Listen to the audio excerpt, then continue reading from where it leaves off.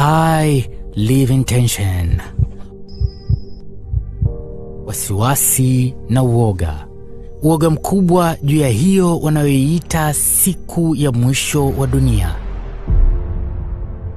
Tena wanasema mwisho wa dunia umekaribia, na halafu wanaosimulia kwa vitisho sana, ila hakuna anayejua kuwa je, imebaki miaka mingapi ifike mwisho wa dunia? Au labda ni masaa tu na dakika chache zijazo. Yawezekana ikawa hata kabla sijaimaliza simulizi hii, jambo hili la kutisha limebaki kwa kitendawili kwa wanadamu wote. Nimeishi kwenye hii dunia kwa miaka kadhaa, si mingi, lakini ninavyovisikia kuhusu mwisho wa dunia ni mambo ya kuogopesha. Nitayasimulia kulingana na kumbukumbu zangu za nilivyosoma toka vitabu vya dini mbalimbali na pia niliyoyanakili toka kwa wahubiri wa kuheshimika.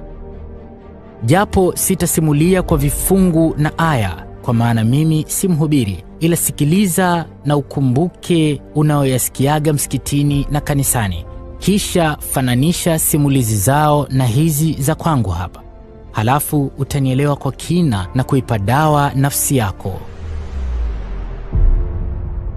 Siku ya mwisho wa dunia. Siku hiyo asubuhi kutapambazuka, lakini haitokuwa asubuhi njema. Nimesikia wakisema siku hiyo, tofauti na ilivyo kawaida, jua halitotoka mashariki kwenda magharibi, badala yake jua litachomoza magharibi kwenda mashariki. Mwanadamu atakapoona hivyo atafadhaika, na kwa wanaokumbuka maneno ya wahubiri, basi nafsi zao zitazongwa na hofu, hofu ya uhakika wa kusulubika kwa kifo kizito, kwa maana siku hiyo dunia itagharikishwa, bora hata ya kilichowakuta waovu wa Sodoma na Gomora. Walio karibu na bahari, wao watakuwa na hofu mara mbili zaidi, kwa maana imeandikwa, siku ya mwisho wa dunia bahari itafanya dhoruba kubwa isiyo na mfano, ambayo haijawahi kutokea tangu kuumbwa kwa ulimwengu huu.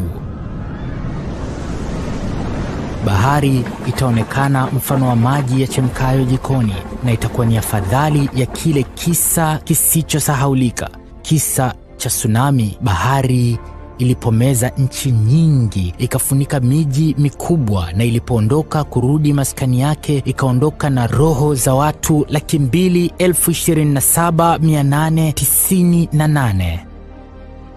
Siku moja nilimsikia mhubiri mmoja akisema, kisha siku hiyo ya mwisho wa dunia, moshi ambao haujulikani utatokea wapi, kwa uwezo wa Mwenyezi Mungu, moshi huo utatanda na kuifunika anga yote ya dunia. Hapo kiza cha hofu kitazidi kuitia taharuki nafsi ya mwanadamu. Lakini kama vile haitoshi, imeandikwa vitabuni kuwa jua na mwezi vitakusanyika pamoja, na halafu mithili ya mshumaa vitafifia pole pole mpaka mwisho vitazimika na kupoteza kabisa nuru yake.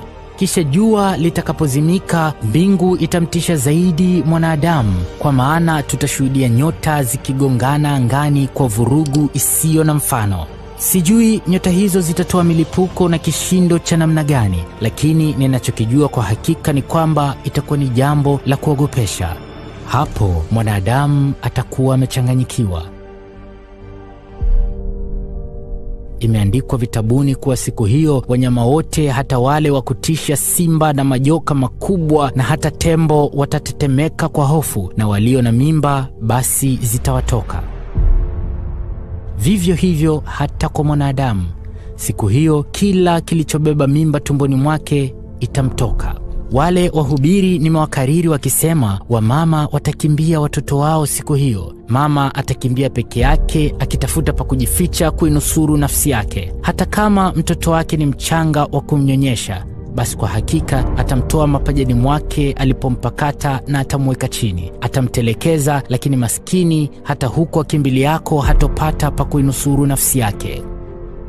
Binadamu watatawanyika wakikimbizana kila kona ya uso wa dunia. Maandiko yanasema, mfano wa walevi ndivyo tutakavyokimbia tukienda na kurudi, tusijue pa kuelekea. Haitajalisha wewe ni mfalme, joho utaliona zito, si rais wa nchi, wala si jemedari wa jeshi ambaye mamlaka yake itamfaa siku hiyo. si mzee wala si mrembo aliyekuwa akiringa na kutembea kwa madaha. Wote watafadhahika kwa hofu na kushiriki mbio za msongamano wa walimwengu wote. Maskini kwa wagonjwa watakaokuwa vitandani, wao mioyo yao itaenda mbio, mikono itakamata shuka na kulifinya, na macho yao yatakuwa wazi kusubiri ni ipi itakuwa hatima yao.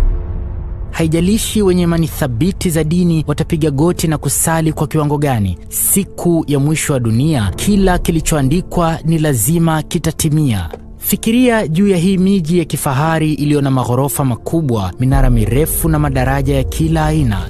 Hivi vyote vitaporomoka, na kila vitakapokuwa vikianguka juu ya uso wa dunia, vitaisaga miili yetu na kuenda na roho zetu. Hapo kumbuka kuwa jua lilishazimika na kuiacha dunia kwenye kiza kinene. Sasa nikurudishe kwenye sayansi.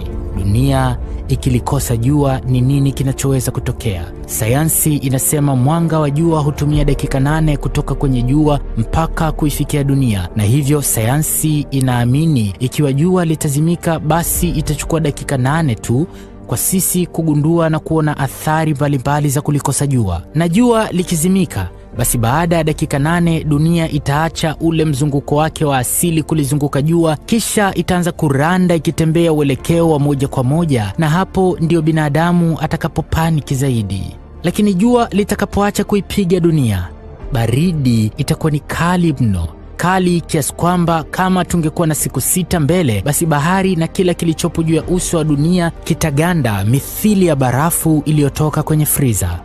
Wakati huo, kwa hayo yote niliyoyasimulia, nina hakika baada ya hayo wanadamu wengi watakuwa wameshakufa na miili yao kuzagaa juu ya uso wa dunia, lakini baadhi watabaki wangali hai.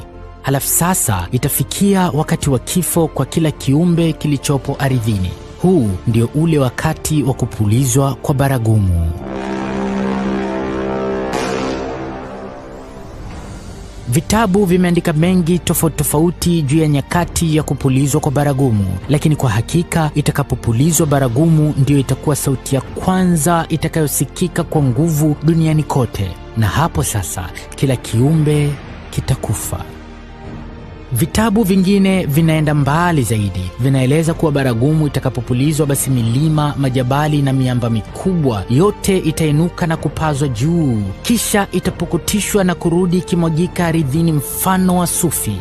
Baada ya hapo, kimya kitatanda, dunia itakuwa kimya kabisa. Hakuna mwanadamu wala kiumbe chochote kitakachokuwa hai. Hakuna mlima wala mwamba utakaokuwa umesimama juu ya uso wa dunia. Hakutabaki ghorofa wala mnara wowote ambao binadamu aliujenga na kuusifia ni imara. Kitabu kimoja cha dini kinasema Mungu ataamuru mvua inyeshe, na itanyesha kwa siku arobaini mfululizo ili iisafishe ardhi ambayo baadaye watasimamishwa binadamu kufanyiwa hesabu zao na pia Mwenyezi Mungu ataamuru upepo mkali urande kuizunguka dunia nzima, patasafishika kiasi dunia itabaki tambarale kabisa, wala hakutakuwa na dalili yoyote kuwa hapa duniani paliwahi kuishi mwanadamu. Hapo itakuwa siku ya mwisho wa dunia imetimia. Kwa wanaoamini kuwa kuna maisha baada ya huu ulimwengu wa kidunia, basi maisha mapya yataanzia hapo. Itapulizwa tena baragumu na kila kilichokufa kitafufuka. Yanayofuata sitaki kuyasimulia, yamekaa kidini zaidi. Ni kudokeze tu, maandiko yanasema siku hiyo itakuwa ni siku nzito zaidi. The Storybook. Hii dunia imezeeka, ni kongwe kwelikweli. Wanasayansi wanaamini tangu dunia iumbwe ina miaka zaidi ya bilioni tatu na nusu, na shughuli za wanadamu kama purukushani za nyuklia vinatia mashaka kama bado imebaki miaka mingi kabla ya kufika kwa mwisho wa dunia. Vitabu vitakatifu vilitaja dalili nyingi za mwisho wa dunia na nyingi kati ya hizo zimeshatimia. Maandiko yalisema siku za mwisho dunia itatawaliwa na zinaa, rushwa, vifo vya ghafla vitakuwa ni kawaida. Je, hamuoni siku hizi vijana wanavyopukutika kama mzaha?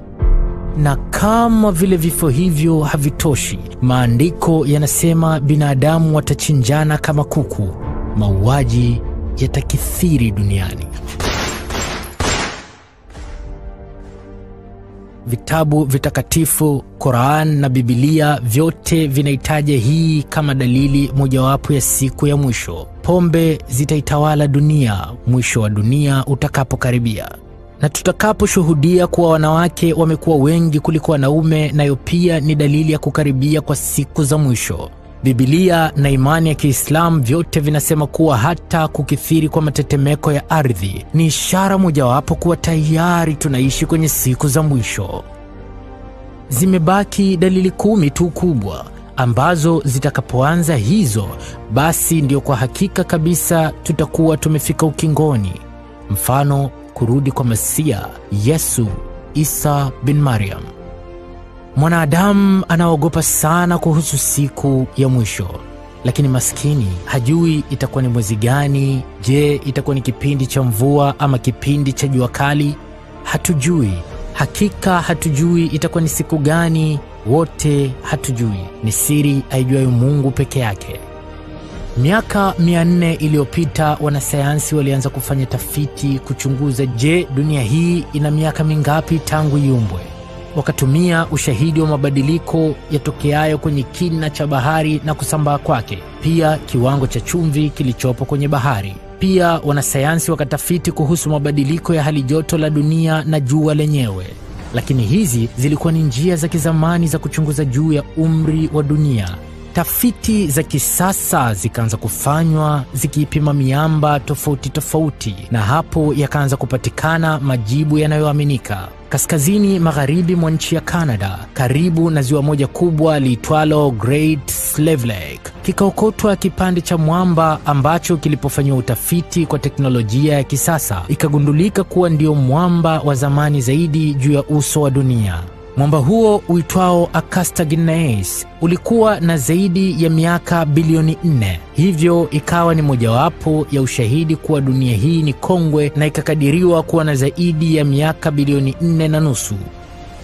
Binadamu walipoanza kupata maarifa ya kuandika historia yao, pia walipata na kiu ya udadisi. Walitamani kuijua kesho yao, wakatamani kujua ni lini pia ndiyo hii dunia itasambaratika. Hili swali likakosa jibu, lakini wakaibuka watu ambao walifanya tafiti zao kwa njia tofauti tofauti, kisha wakaja na majibu yanayotabiri siku na tarehe itakayokuwa ndio mwisho wa dunia.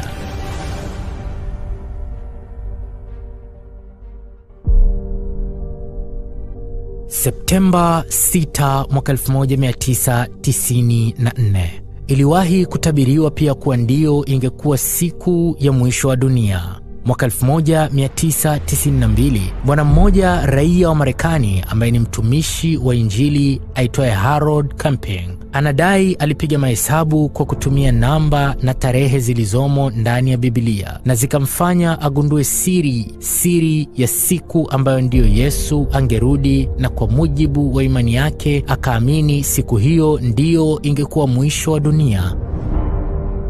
Basi bwana Harold akaandika kitabu ambacho ndani yake akaitaja siku ya Jumanne, Septemba 6 mwaka 1994 ingekuwa ndiyo siku ya mwisho wa dunia. Kweli utabiri wake uliweza kuwashika watu masikio. Kadri siku hiyo ilivyokuwa ikikaribia, basi hofu miongoni mwa walioamini utabiri wake ilizidi kuwa kubwa. Septemba 6 mwaka 1994 hatimaye ikafika. Watu wakaamka wakiendelea na shughuli zao, huku kila saa macho yakiwa mbinguni, labda watamwona mwana wa Israeli akishuka. Asubuhi ikaisha na ukaja mchana, mchana nao ukapita, ikaingia jioni, jua likazama, ikawa ni usiku. Watu wakawa wanahesabu masaa kuona, je, siku itapinduka na kuingia Septemba 7 au ndio muda wowote mbingu itapasuka na tuone mwisho wa dunia.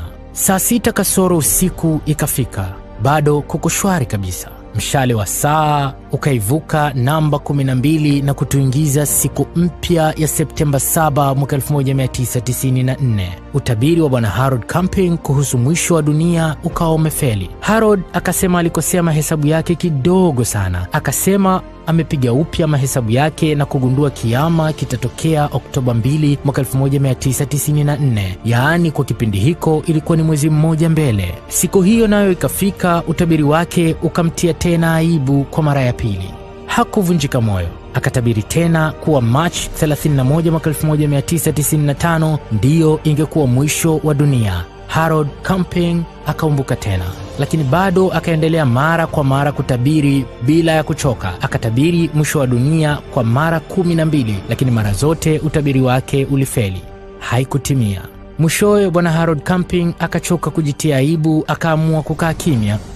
Baadaye ukaja utabiri wa kiama ambao huu sasa uliitikisa sehemu kubwa ya dunia. Ulikuwa ni utabiri ulioegemea kwenye dhana ya kisayansi na ukaonekana kuwa na mashiko miongoni mwa watu wengi. Utabiri huu ulisema mwisho wa dunia ni mwaka elfu mbili. Naamini wengi mtakuwa mnakumbuka utabiri huu. Uliitwa utabiri wa dhana ya Y2K.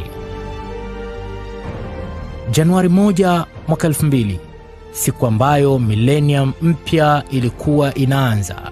Mfumo wa kompyuta duniani ulitarajiwa kupata hitilafu kubwa ambayo madhara yake yakaonyesha wazi kuwa dunia ingesambaratika siku hiyo. Mfumo wa kompyuta wa kumbukumbu za kalenda ulikuwa umewekwa kwenye namna ya miaka yenye tarakimu nne za namba au angalau mbili, huku mwaka wa elfu mbili ulikuwa na tarakimu moja tu ya namba na zilizobaki zote tatu ni sifuri.